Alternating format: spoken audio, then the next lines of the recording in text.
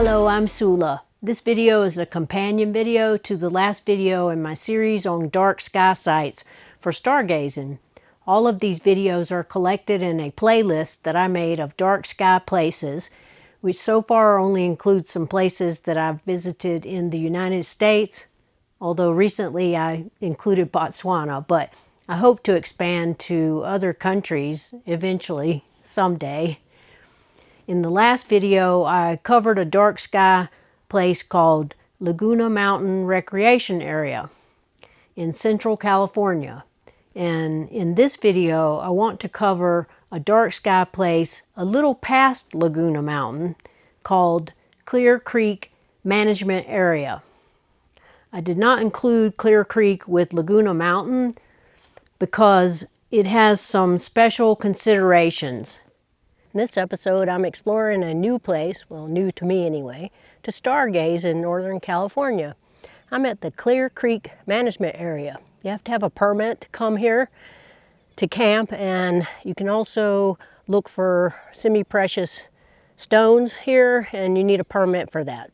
So you need two permits if you want to look for the stones and one permit to camp here, but there is another campsite before you get to Clear Creek where you can camp and you don't need a permit. And it's called Sweetwater. It looked okay. This one looked a little more open and I have a permit for here.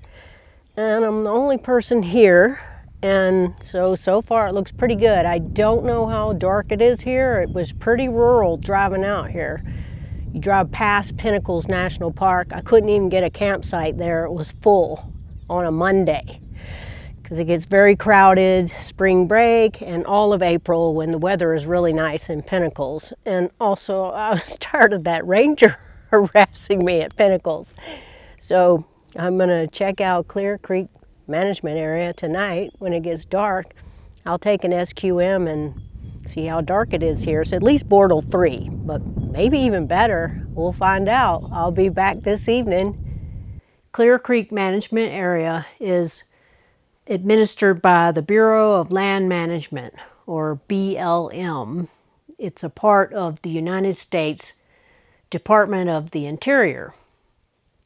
It encompasses 75,000 acres of rugged terrain nestled in the Diablo Range of mountains in California. It ranges from 1,800 feet to over 5,000 feet at San Benito Mountain. The climate is typical of California's Mediterranean climate, hot, dry summers and cold, wet, but short winters, with occasional snow at the summit of San Benito Mountain. It's located on Clear Creek Road near Coalinga, California. From San Jose, California, you take Highway 101 south and turn on Highway 25 to Hollister, and from Hollister, you drive 35 miles, passing Pinnacles National Park along the way, and then you turn left on Coalinga Road for 14 miles, passing Laguna Mountain, and then you turn left at a BLM sign for Clear Creek, which is an unpaved road called Clear Creek Road, until you come to two official campgrounds, Oak Hill and Jade Mill. They're both very small campgrounds with a very limited number of campsites, each has a fire pit, a picnic table, and a shade structure, and they have clean bathrooms with toilet paper. But you must obtain a permit in advance from the BLM to drive on Clear Creek Road or to camp at those two campgrounds. The permit is $5 and it's good for seven days. After Jade Mill Campground, there's a locked gate beyond which is the Serpentine Area of Critical Environmental Concern. ACEC.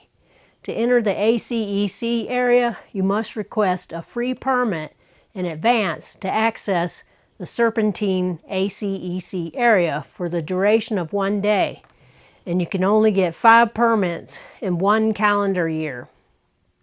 The Clear Creek area is one of the most highly mineralized areas in California, with over 150 semi-precious minerals and gemstones including serpentine, jadeite, cinnabar, tremolite, topazite, neptunite, and the extremely rare California state gem, benitoite. Hobby gem and mineral collectors are drawn to Clear Creek in search of these stones.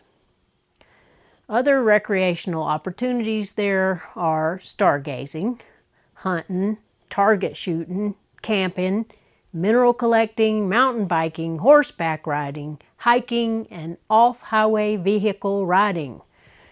The area beyond the lock gate has hundreds of miles of OHV, off-highway vehicle trails, including the Condor Mountain OHV area, very popular area.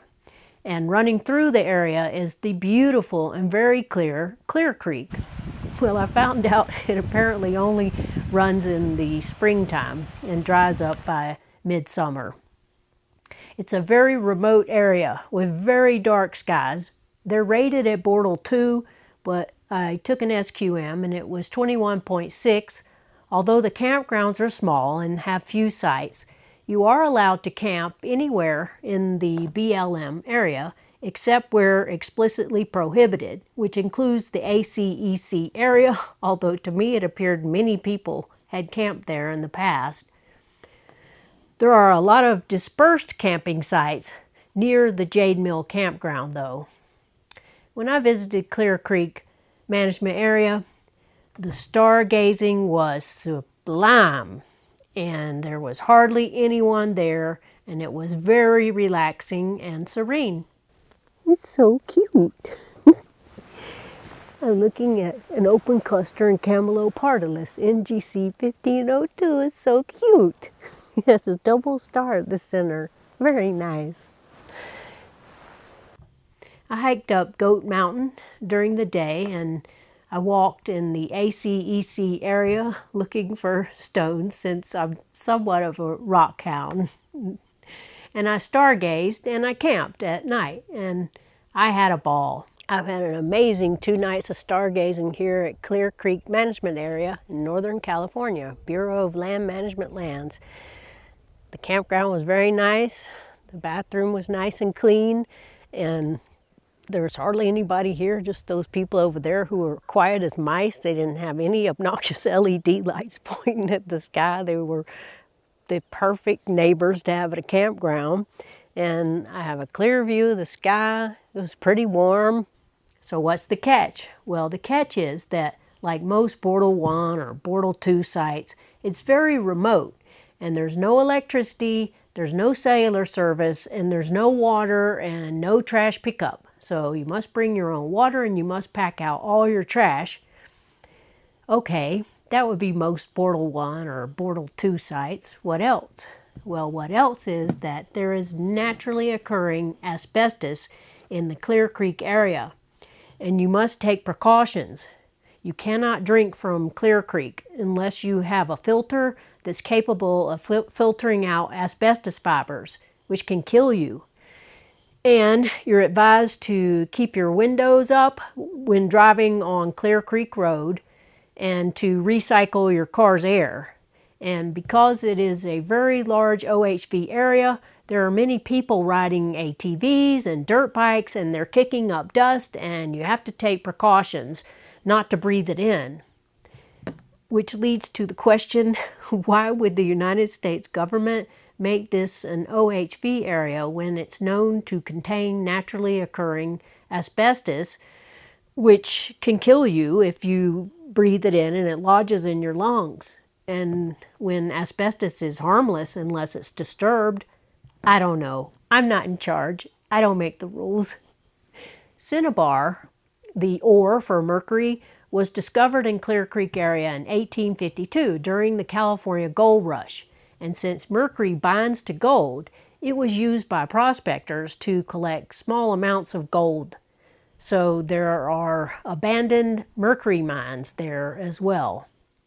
When asbestos was found in the Clear Creek area, it was mined in huge open pits into the 1970s.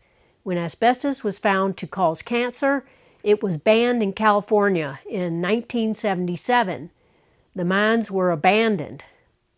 The Atlas Asbestos Company began mining asbestos in this area in 1963, And since it contained one of the largest deposits of asbestos in the world, but when asbestos was banned, Atlas Asbestos Company closed the mine and they left behind a toxic waste field that is now a Superfund site. And if you don't know what a Superfund site is, these are large, contaminated, and hazardous areas identified by the United States Congress by the CERCLA Act of 1980, whereby Congress allocated money for cleanup of these large hazardous sites. So, in other words, anytime you hear someone refer to a place in the United States as a Superfund site, you should stay away. It's toxic and it's hazardous, and usually they're very large. So, why is the government making a large OHV area around a Superfund site?